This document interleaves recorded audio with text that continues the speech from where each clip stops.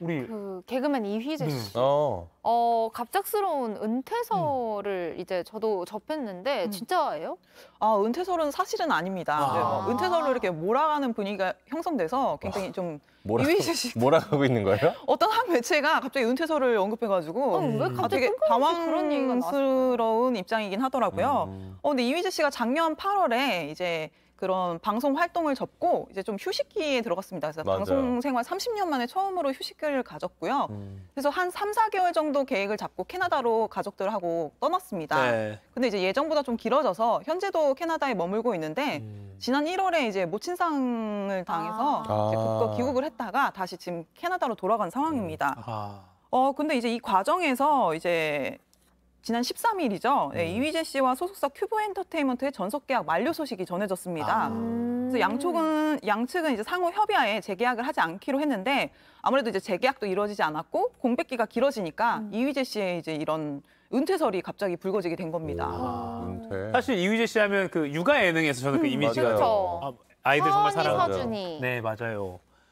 근데 좀 이렇게 가족들과 캐나다로 떠나서 근데 그게 좀 길어지고 소속사도. 게다가 또 소속사 음. 결별 맞아. 소식까지 있으니까 재계약 안 했으니까. 이야기가 좀 덧대어지고 있긴 있네요. 음. 맞아요. 근데 이휘재 씨의 입장은 뭐 어, 나왔나요? 네. 이휘재 씨 측근이 네. 은퇴가 아닌데 이제 막 은퇴를 밟는 게 아니야, 은퇴 수순을 밟는 게 아니냐라는 이제 그런 식으로 기사가 나와서 굉장히 네. 마음이 좀 좋지 않다라고 전했습니다. 음. 어 그리고 제가 이제 확인을 해봤는데 이휘재 씨는 현재도 복귀에 대한 가능성을 열어두고 있습니다. 음. 그래서 소속사는 없지만 오랫동안 이제 함께 알고 지낸 매니저가 일을 봐 주고 있고요.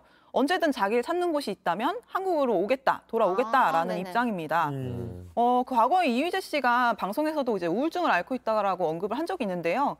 이휘재 씨는 평소에 이제 이 우울증 때문에 약간 러닝을 많이 즐긴다고 해요. 아, 그래서 뛰는다고? 네, 그래서 숨이 차면은 좀 우울감이 좀 어. 덜 하잖아요. 그렇죠. 어제 그 김경일 교수님, 인지심리학자 김경일 교수님도 심장 박동이 아, 맞아. 있잖아요. 네. 네, 그래서 이제 뭐 한강 다리를 막 뛰어다니고 그랬대요. 네. 한국에 있을 아. 때도.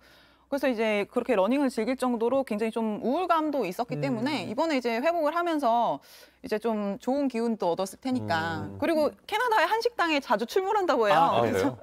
한식 애호가라서 아. 음. 사실 한식에 대한 그런 것도 또 그립잖아요. 아, 그렇죠. 그래서 밥 빨리 싶죠. 한국에 이제 복귀하셔서 네. 활동을 하셨으면 좋겠습니다. 출- 맞아요. 죄송하지만 출몰보다는 예, 출몰. 그 뭐, 목격담이 목격담. 목격담. 출몰. 출몰은 약간 뭐 야생동물 같은 네, 경우는 네. 출몰 많이 하는데. 편하게 하다 보니까 라이브, 네, 유튜브 라이브. 네. 아, 그죠. 네, 한식당에 자주 아. 나타나시는 아, 출몰을 거예요. 많이, 뭐 네. 많이 쓰니까요. 네. 네.